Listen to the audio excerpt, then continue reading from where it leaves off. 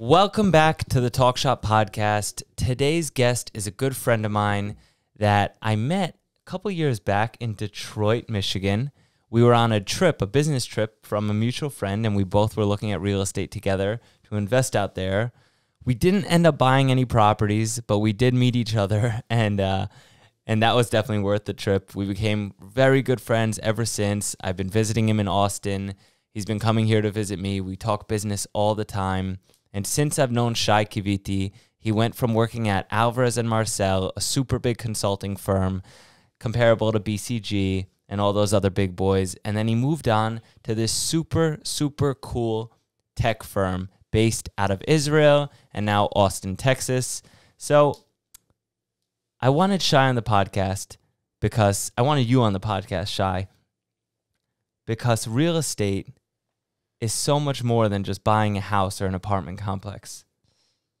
And many, many, many people don't know that because they're just getting started and what they see is what's right in front of them, right? But as you grow in the business, as you learn more, you realize how little you know and how much more there is to this world filled with infrastructure. And I wanted you to enlighten some people on what you do. I'll let you introduce what you do and open people's mind to the world of real estate. So, Shai, please introduce yourself. I came to this country about six years ago. Originally born and raised in Israel, grew up there, served in the Israel Defense Forces for almost a decade. In a in a several special forces units, as you, as I, uh, and that's as much as I can say about that.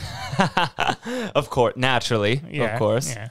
Um, if I'll say some more, I'll have to kill you.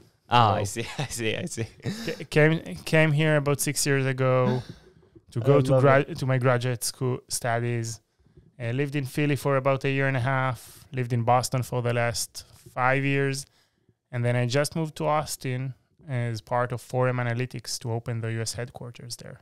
So, what is 4M Analytics? Sure, 4M Analytics. We are the Google Maps of everything underground: electricity, water, gas pipelines, telecommunications. Basically, if you want and you need to know what's underground, we are your go-to solution. And you know, it's crazy how much people don't think of what's underground. But 15% of all of the construction delays in the US are a result of you starting to build and then you hit something you didn't even know was there. How much does 15% of all construction delays equate to, for example? Put it in numbers for me. A hundred billion dollars. Is that is is that, that accurate? Somewhat accurate, yes. Yes. So, a- $100 billion in delays is caused from what not knowing what's underground. yes. Wow. And you know, we've been putting things underground for the last 200 years. And at some point, it starts getting busy over there. You know, you put another pipeline, another pipeline. And I said that, but unfortunately, we were never really good at documenting what we were putting underground. So there are things that were never documented. There were things that were documented poorly. So let's say you get an as build, you get a plan to put a pipeline somewhere, but the GC ends up putting it a little bit to the right or a little bit to the left. They don't go back to update the as build. So, so you got this plan of where the pipeline should be, but in reality, it's it's I don't know, ten feet away, twenty feet away. Yeah, but how do you know that? Like, how do you know that they made a mistake? In short, we've built a time machine. So we have satellite images of the entire US going back 70 years. And we use machine learning and computer vision algorithms to basically go backwards and forward in time and, sh- and see the actual construction. So I can tell you, hey, this pipeline is not here. It was put 20 feet away. And here is a satellite image from 1995 showing the actual trenches where it was dug. And you can see that it wasn't put where you think it is. Fascinating. Absolutely fascinating. You see, I would have never thought of anything like this. Like, it never even crossed my mind while I was out there trying to buy another house, a multifamily in Houston, a multifamily in Arkansas, an industrial building. I never even thought about this type of startup. And even my family, remember when you were telling them, they were all, it was like a light bulb just went off in everybody's head. So where did this come from? So our CEO, our CEO Itzik, he's he's a super bright guy. He was a mine. He opened a mine excavation company in Israel, basically starting to clear out mines from the Golan Heights and the northern part of Israel.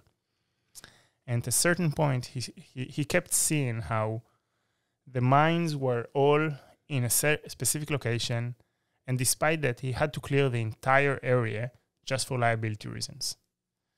And he started saying to himself, to himself, what if I could, using technology, know where the mines are before I start excavating them? I would save so much labor. And he started using aerial imaging to basically look at uh, change detection on the ground and on surface features in order to understand where the minefields are.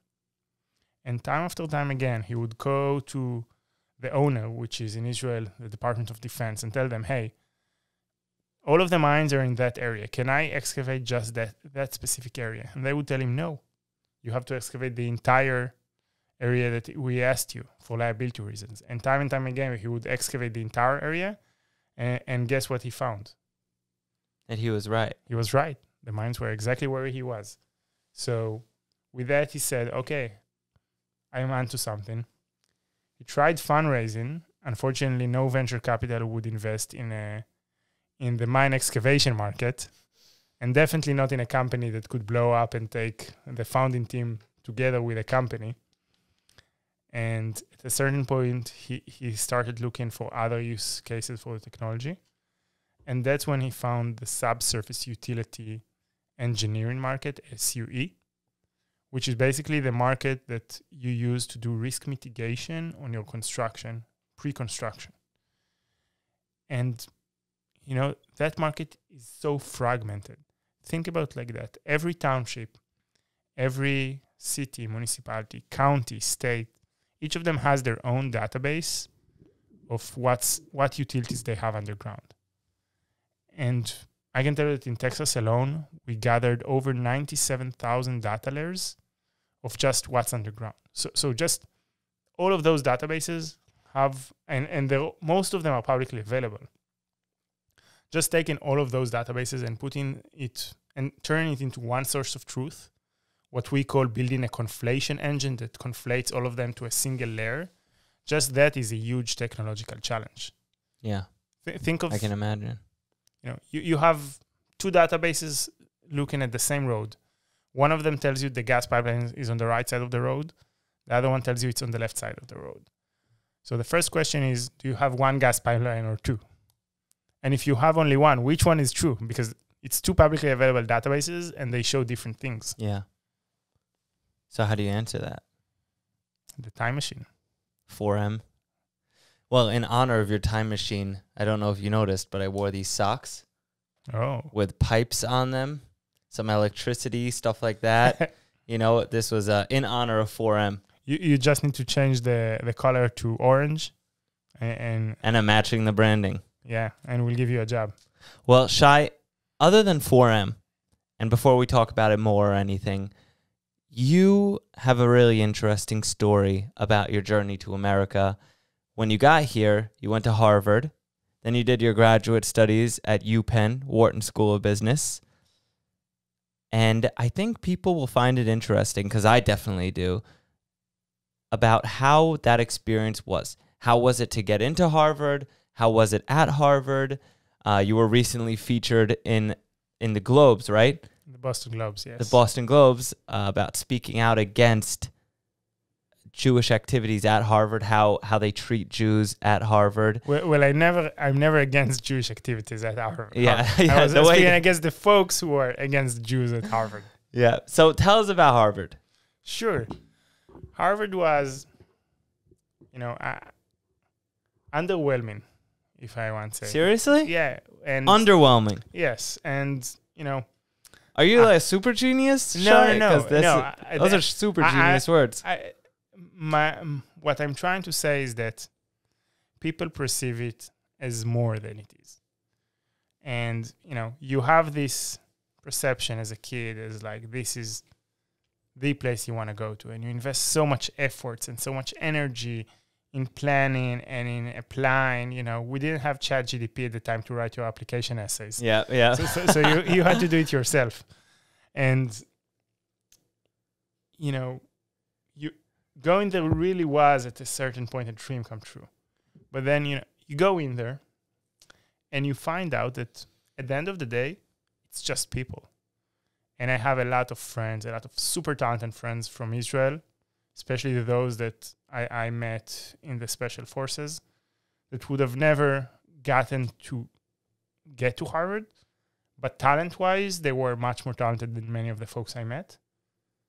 And like in a, with any institution, there are folks that you under you think should have gotten in and didn't, and folks that you meet there and you're like, how did that get person get in? Yeah. What did he do? So so you know, I at the end of the day it's it's people and it's people that know how to submit really great applications and some of them are really smart. But I can tell you that going there is by no mean a, a recipe for success. So, so you know, In your eyes, what is the recipe for success?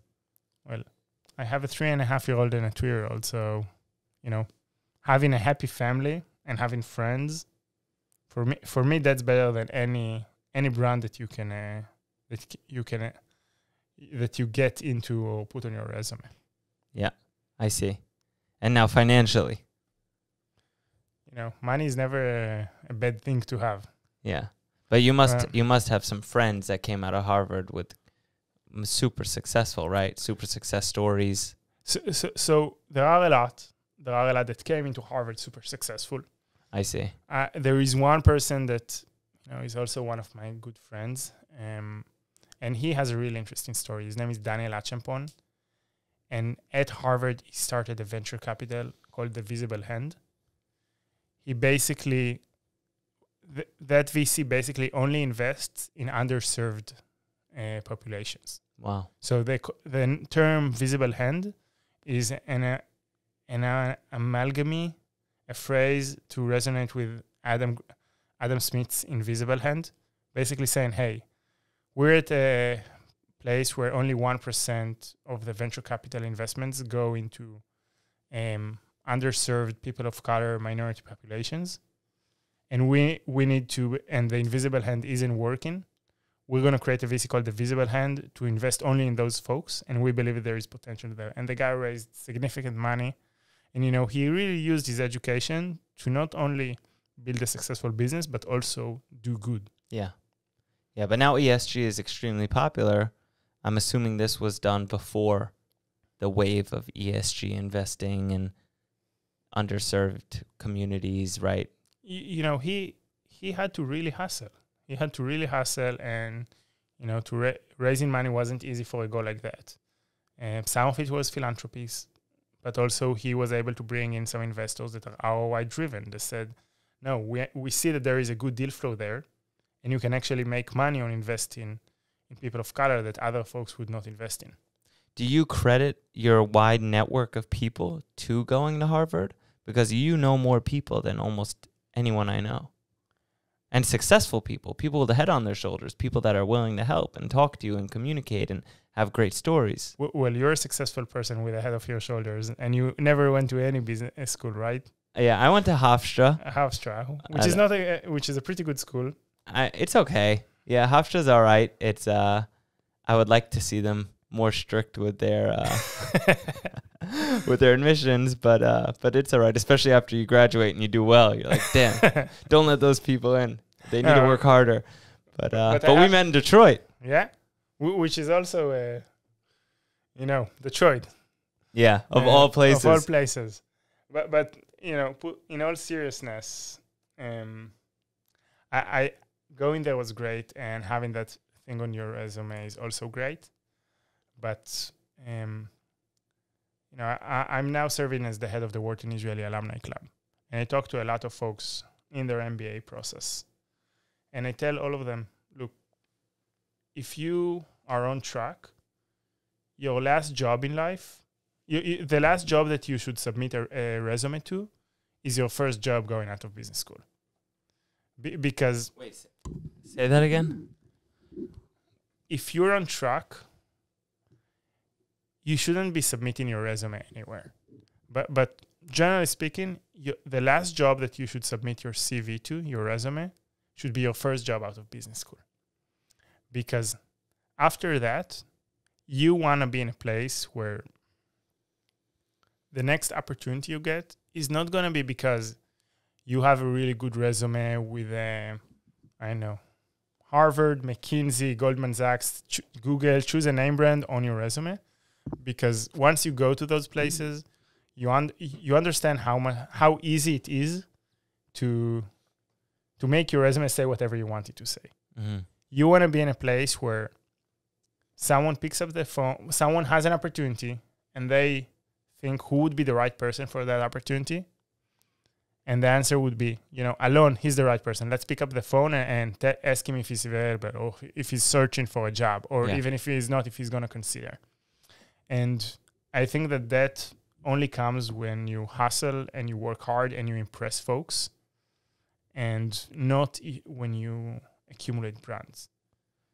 A- And I can also tell you that going to Harvard also, you know, in certain situations, it actually makes things a bit harder. So, so I go into a room and I automatically have to, I automatically have to deal with like people thinking I, I'm arrogant or I'm a rich person or Which you, you didn't come from any money. no, definitely. My my father was a factory worker at PepsiCo, 35 years. My mom was a high school teacher.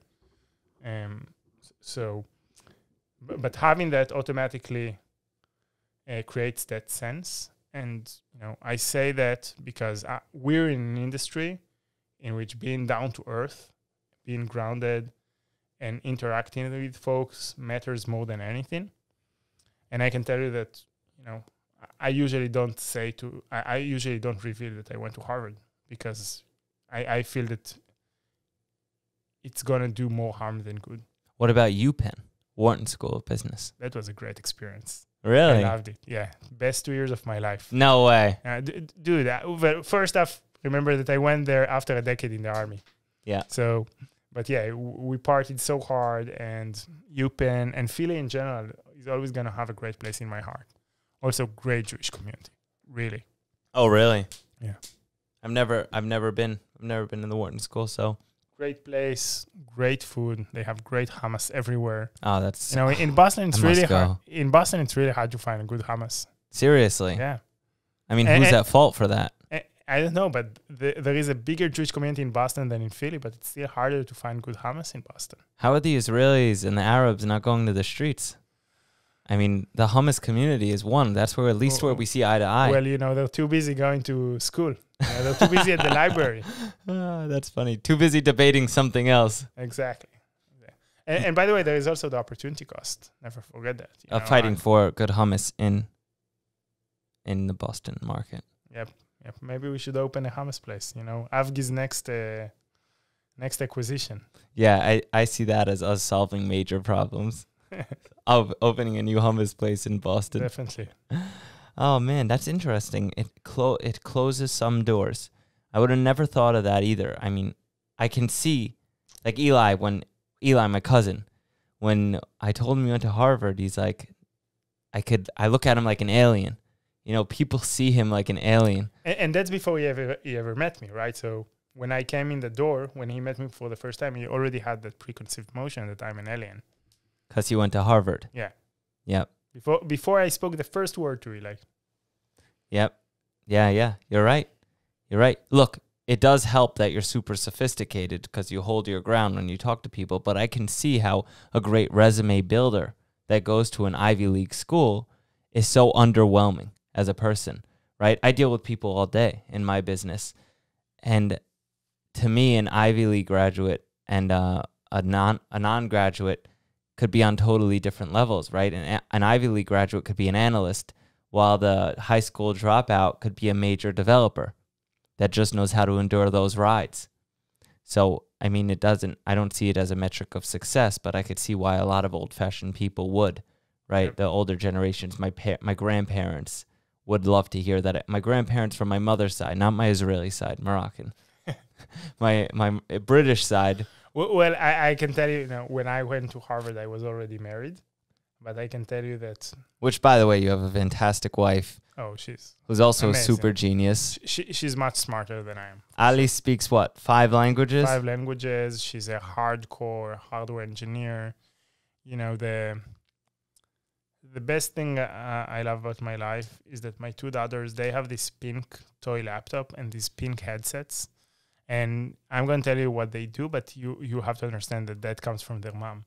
They take their cute toy laptop and they put their pink headset and they put it on the table, and when I come to them, they're like, "Daddy, I'm working. Five minutes. Go away." No. Yes. Oh, It's the cutest thing ever. Three and a half years old, pretending she's coding. that's awesome. Destined for greatness, Exactly. right? I remember walking into your your wife's office a couple days ago when I was in Austin, and I'm like, "What are you doing?" It's you know she just hasn't stopped. She would. Yeah. she- She's just like that all day long, and somehow TSMC ends up printing chips in Taiwan two years later. yeah, because of Alice. Yeah. You know, the, the moment she joined AMD, that's when the the share price started going up. So Uh, you give her credit for that. Yep. yep. Now, you came from Alvarez and Marsal, which you could give more background on that company because I'm I have not been part of the consulting world. I understand what a big industry it is, but I don't understand really how the intricacies, right? How did it how does it feel coming from such a, a corporate structured environment, if that's what it was like, to an Israeli high growth startup? I think you guys just raised forty five million dollars. A total of 45. Yeah. At what valuation? I can't say that. Okay. Yeah. So how does it But, feel? but a, a good one. yeah. So it's it's definitely north of of uh of nine digits, right? Nine figures, which you can't say. But anyway, just a guess. How does it feel coming from a structured environment like Alvarez and Marsal and going into a high paced, high growth startup? So, so you know, Alvarez and Marsal is very different in the consulting landscape. And your question would have been the right question if I would have came from any other consulting company. But Alvarez and Marsal is a consulting company that has a legacy in restructuring. So they led the Enron restructuring, the Lehman Brothers, the Toys R Us. You know, the restructurings where even if you're not familiar with the term restructuring, you might have heard of. And Enron, Lehman, Enron, Toys R Us. You know, you know, You just dropped three bombs. Yeah. yeah. Um, and that means that the company has a very has a core operational legacy. Fifty percent of the consultants are not those kind of uh, what you think of as consultants, um, you which you could call like slide makers who sit all day in the office and create these beautiful strategy slides. You go to other companies for that, but that, we have that, but that's like fifty percent of the labor. The other fifty percent are, are hardcore operators folks who are CEOs, COOs, CFOs, and you know you can deploy them to interim roles whenever really bad things happen and you need experts. It's so fascinating. Like that is so cool. I remember when I would hop on a call with you three years ago, and I'm like, Shai, what are you up to? You're like, I'm out in Ohio restructuring a steel framework company or something like that, something crazy like that. Yeah. What a fascinating business model! It, mu- it must be so much fun. And and, and you know when when I went to work there, I graduated in May 2020. Wow. So I, I told myself, well, you know, the entire world's economy is going to hell. Where should I? What should be my next step in my career? And I was like, well, you know, restructuring sounds like a pretty good idea in 2020. Which was a great pick. Yep, dude. I, I spent two years um, doing so many things. I, I took part in interim COO and interim CFO uh, teams. I, I wasn't obviously the interim COO, the interim CFO. That was my boss's boss, but I took part in those kind of teams for companies that required massive turnarounds extremely quickly. So, so you know, most of my cl- most folks when they ch- try to exit consulting into being an operator, it's a pretty hard change. You know, you need to learn a new skill set. It's a different mindset. And for me, I was very fortunate to have had a lot of operating experience in a consulting company. And that made the transition to be an operator a lot easier. How old were you when you graduated? 30? It's never too late. 31. 31. Never too late. Oh. And that's inspiring. And, and, Shai. And, and you know, most of my classmates were at that age. No way. Yeah, most of the folks starting their MBA in the US are like starting their MBA when they're 28 years old, 27, 28. You know, you need three to four years of experience. Most of the Israelis starting their MBA are over their 30s because in Israel we have mandatory conscript- conscription. Yeah. So you need to have three years in the army, do your undergrad, and then extra three years of experience. Would you suggest somebody go get their MBA? Somebody like me, for example. You know, Which, by the way, I'm not. I'm not saying that. I'm considering you, it. You, you should not. You should not, and I'll say why. You know, I I I, I love the work that experience. It did really. It was fun and it jump started my career. But I really feel that there are two things that are, you need to consider when you go to do your MBA or graduate studies in general. One is the opportunity cost. So, you know, if you wanna, you're gonna learn more by running a business for, for two years than for from going to business school. no question. And if you have a great idea, you should just pursue it because you're gonna learn more from that. And most people don't take into consideration that opportunity cost of spending two years in school without a salary, without developing professionally in their career. So, so that's number one. And the second is, you know, there are two types of folks in business school. One, which I like to call career switchers, which are like myself. I came in after the army. I didn't know what I wanted to do in life. You know, two years in a top tier business school sounds like a pretty solid idea. Yeah. And they do this random walk of, you know, uh, I did a summer internship at McKinsey. I worked at a VC fund. You try a little bit of everything until you figure out what's what works for you. The other type of folks that know what they want to do. So they, let's say, they came from private equity and they know they want to do a startup in clean tech. So they're going to spend the next two years building their startup while in business school. For those two use cases, business school could be great. But if you already have a business and a profession, the opportunity cost could be just so high. And it's not even about the money, it's about the time. Yeah. That, that I don't think that a person like you should should go to business school. I wish I had a wife to credit my success to, but uh, I don't have two adorable little daughters and a wife to say, "Hey, she's my greatest accomplishment." So I will kindly take your compliment. I appreciate you, Shai. You're a great friend. You always were. And now I would like to pivot back to 4M. So what's the name of the company? 4M Analytics. yes. Okay. Underground mapping. So hypothetically, just spitballing here, Batman approaches you guys, right? Ideal customer. Yes. He wants to build a new bat cave. That's your client. Yep. Either a new bat cave, an extension to the bat cave, issue new permits to the bat cave, anything regarding the bat. Batman doesn't get permits. well, Nobody can know about the bat cave, but an extension. let's say he wants to break a wall. He wants to know if there's another thing beyond that wall. Underground. pipeline. Yeah, underground. You know, he doesn't want to break a wall and then hit a gas pipeline, right? So bat yeah, of course not. God forbid he needs to utilize those gas pipes. Dude, dude that's that's gonna blow his cover, literally. Yeah, exactly. Nobody can know. So Batman's an ideal customer. Who else is an ideal customer for something like 4M? So you'd be surprised, but anyone who is in either in the bidding prospecting or the pre-design, design, or risk mitigation stages of an infrastructure project would be able to use that. Currently, we're selling to general contractors, GCs, to designers, to engineer firms, to owners, and you know we're now starting to sell to public owners, so municipalities. So, so that's like who we're selling to right now. But the ability to have one trustworthy map of everything underground has so many additional potentials.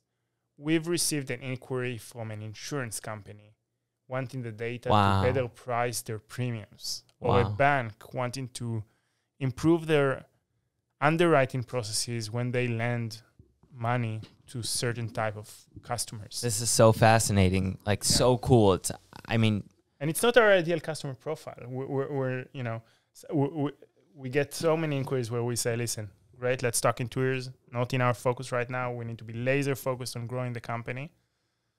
But but you know slowly and surely we're going to expand to every possible use case of how, what you can do with underground utility maps. There's these random use cases just popping up insurance companies, lenders, uh, contractors you guys have your eye on, architects, MEP, designers, engineers you have your Yeah. eyes on.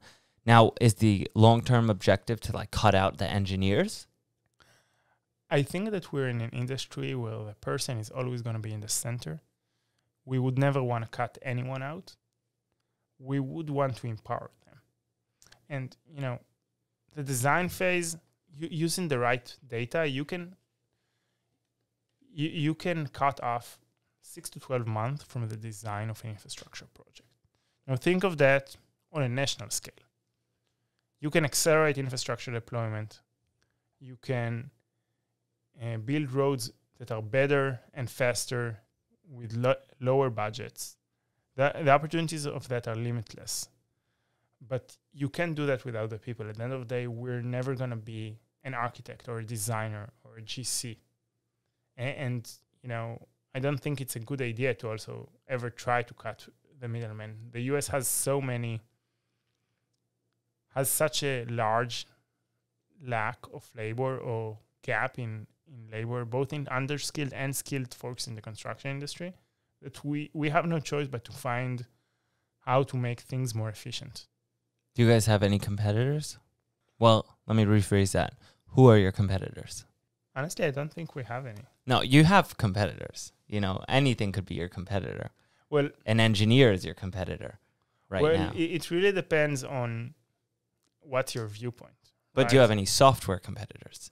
I think is what S- you were referencing. Exactly. So it really depends what's your viewpoint because we see 4M as the basic infrastructure layer that can power the entire industry and can provide value to every actor out there.